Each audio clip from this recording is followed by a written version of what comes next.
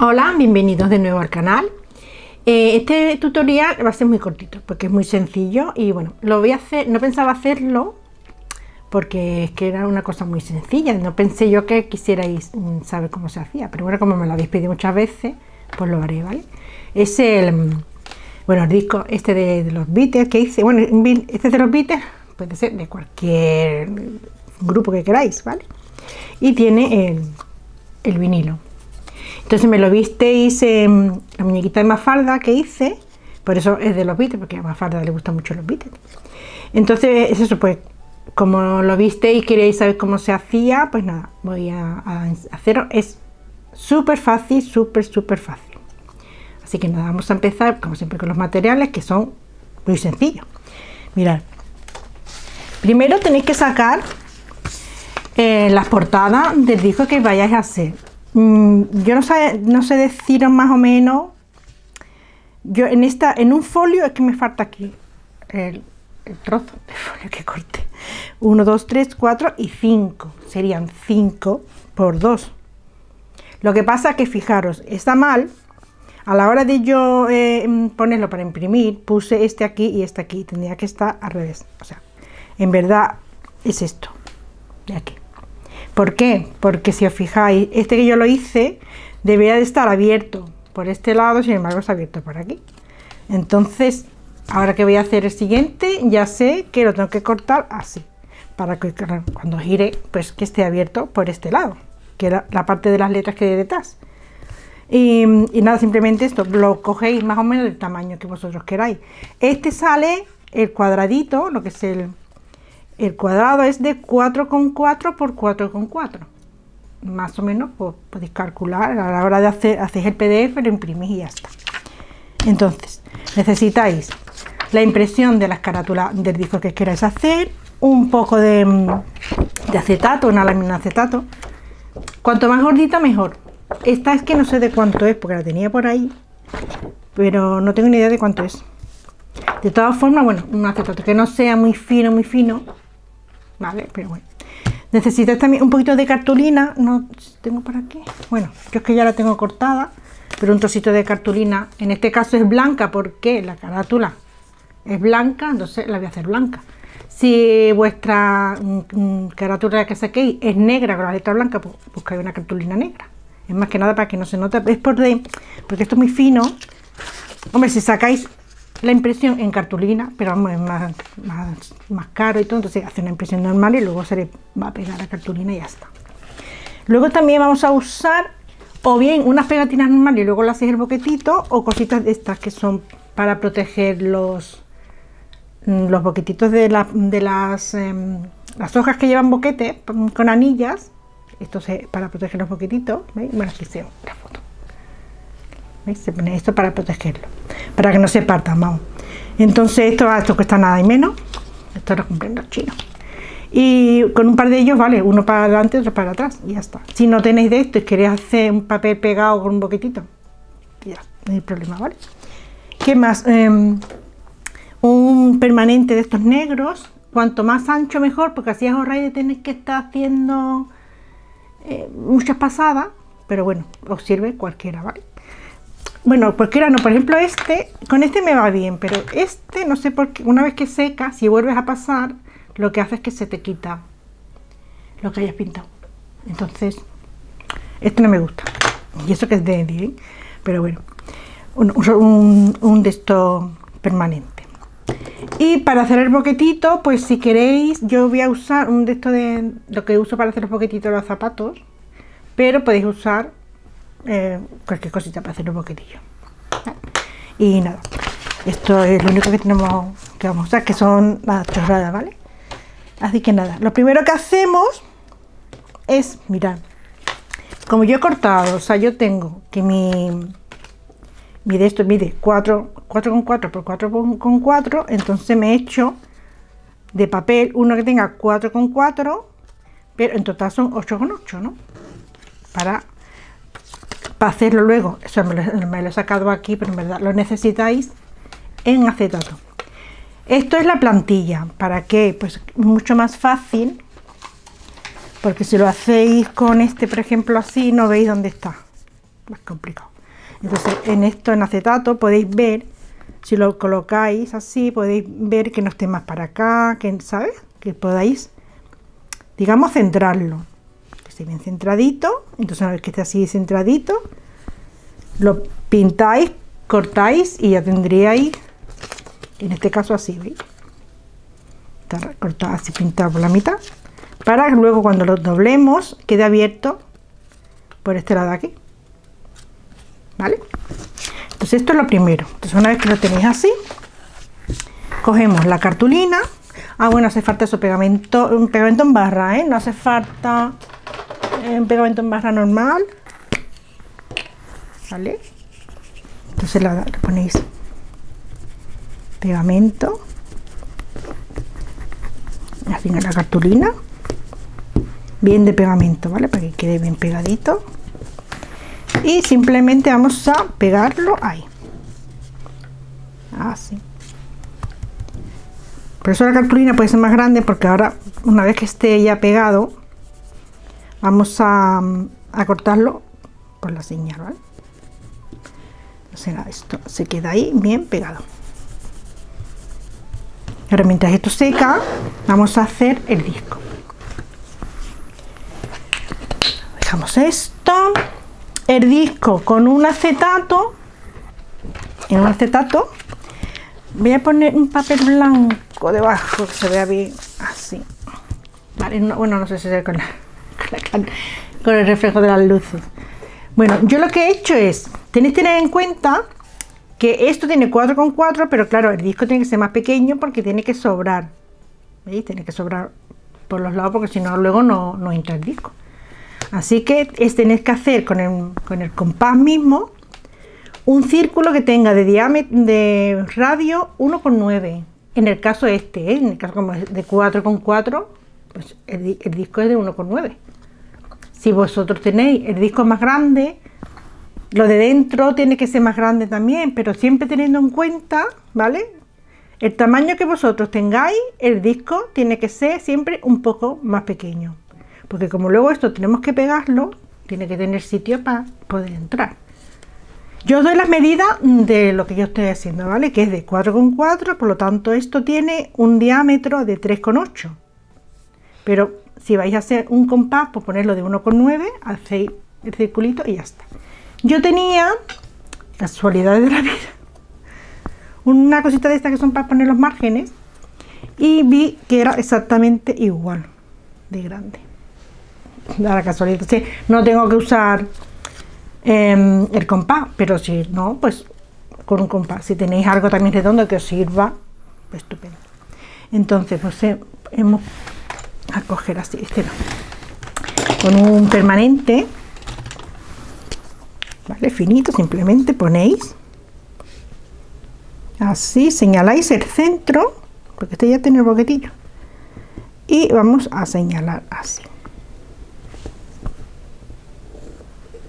¿vale? Yo tengo aquí el centro y tengo ya el así cortado. Y ahora simplemente vamos a recortar este circulito. Con las tijeritas vamos así cortando poquito a poco. Bueno, una vez que está cortado, veis que a lo mejor quedan algún, no sé si se ve bien, así, aquí se ve la mejor, que queda a lo mejor alguna puntita pues con una lima de uña misma le dais así un poquito, ¿vale? Para que vaya quedando, que no quede en puntitas. un poco así. ¿Vale? Pasé el dedito, veis que no quede en puntas. Ya está. ¿Vale? Ahora vamos a hacerle, antes de pintarlo, le vamos a hacer el boquetito. Se lo voy a hacer con esto de los zapatos, si no con cualquier maquinita de hacer boquetitos, os va bien, ¿vale? Ponéis así. Lo ponemos aquí. Y ya está. Es un boquetillo sencillo como esto. Este es de uno, de uno y medio. Pero puedes poner de incluso de 2 milímetros y os sirve. Ahora, una vez que ya tiene el boquetito hecho, cogemos el, permanente con la parte ancha, lo más ancha posible, voy a sujetarlo para que no se me mueva mucho y vamos a pintar intentamos pintarlo de esta forma vale dando como redondito. Para no estar dando muchas pasadas vamos ahí así. Intentamos cubrirlo lo más posible. Si queda luego algún trozo sin cubrir pues le daremos una segunda mano. Pero hay que tener cuidado por eso porque hay veces que cuando está seco queremos darle una segunda mano y lo que hace es que se quita la que ya tenemos puesta depende de, del rotulador. Yo con el Edding este mm, se me quitaba. Pero bueno. Hacemos así y pintamos. ¿Vale? Ya luego miraremos si queda un huequito sin pintar. Ahora mismo así en el blanco no se ve muy bien. Pero bueno, lo dejamos que se seque un poquito y luego miramos. Si se quedan algún huequito, pues le damos otra vez, ¿vale? vamos a esperar que seque. Bueno, una vez que ya está seco, no sé si se puede ver, es complicado con la luz, pero hay huequitos donde se ve que se transparenta, o sea, no está cubierto del todo. Entonces, se puede pintar, si ves que no funciona, que se quita la pintura, se puede pintar por el otro lado. Lo que pasa es que a mí me gusta que esta parte quede mm, más finita, con el brillo este así, ¿vale? Que este también tiene, pero no, no es el mismo. Entonces vamos a intentar cubrir la zona que, se, no está pintada, ¿vale? Con mucho cuidado. Lo ponéis tendréis que ponerlo así porque tenéis que estar viendo por dónde está eh, la zona que no está pintada.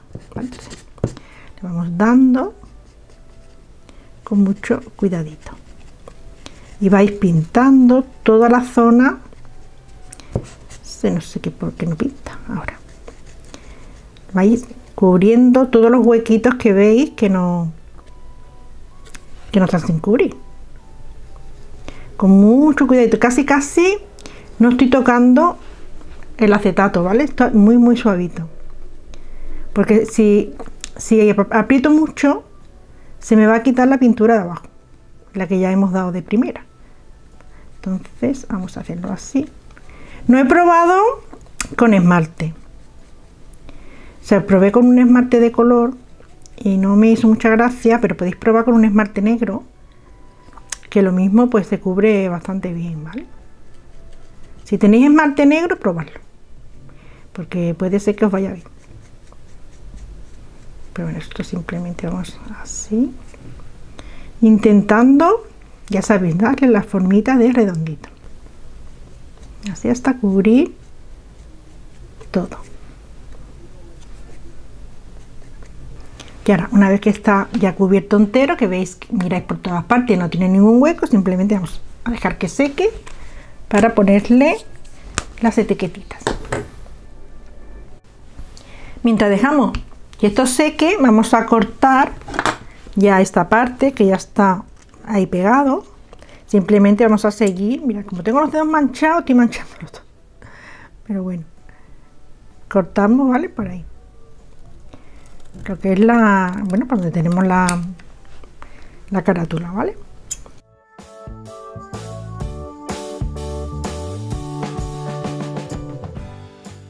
Y aquí ya tenemos la carátula. Vamos a doblarla por la mitad. Y me gusta ponerle siempre así, porque así se dobla seguro mejor lo doblo primero aquí y ahora ya por aquí doblo este lado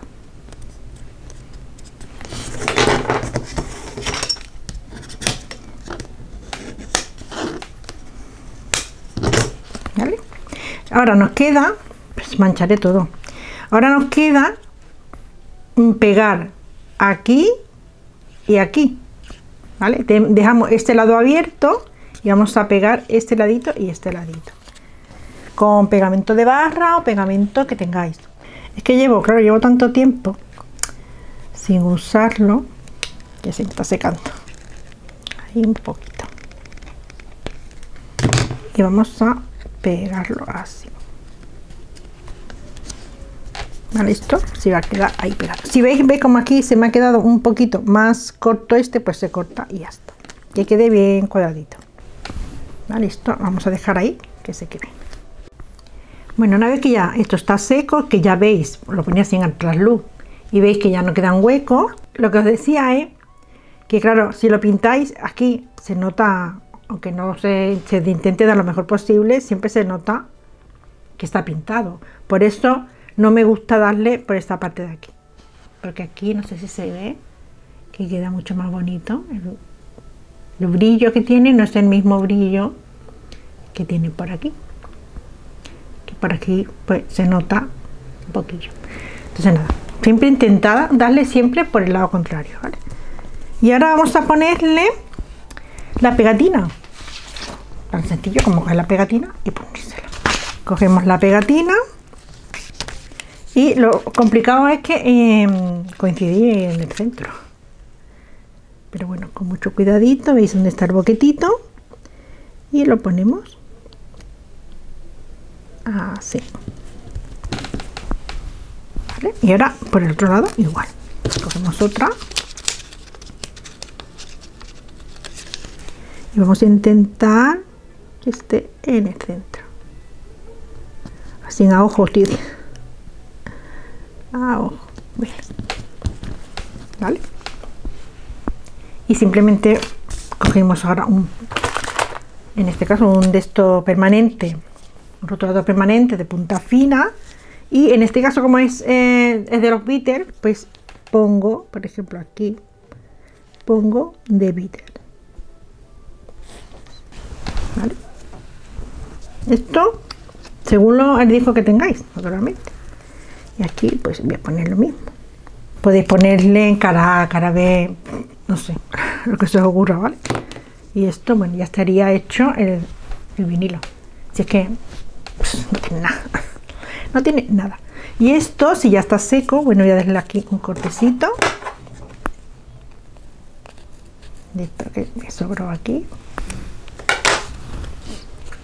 Es meter simplemente ya el disco aquí metemos ahí el CD, el CD, metemos el vinilo, lo podéis meter más, lo que pasa claro, a la hora de sacarlo más complicado, entonces yo me gusta dejarlo así, un poquito fuera, que cabe entero, ¿vale? O sea, se lo metéis entero, entraría, pero luego para la hora de sacarlo, pues tenéis que hacer así, para sacarlo, ¿no? más complicado, como este se me ha despegado, a ver si lo pego ahora, pero bueno, os quedaría el, el disco así, queda muy chulo y así podéis hacer si hacéis muchos discos podéis poner luego un hacer un mueblecito pequeño con todos los discos que sería súper mono ¿vale? como discos en miniatura.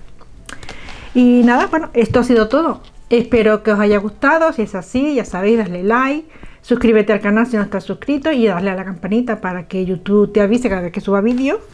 Y nada nos vemos en el próximo tutorial. Chao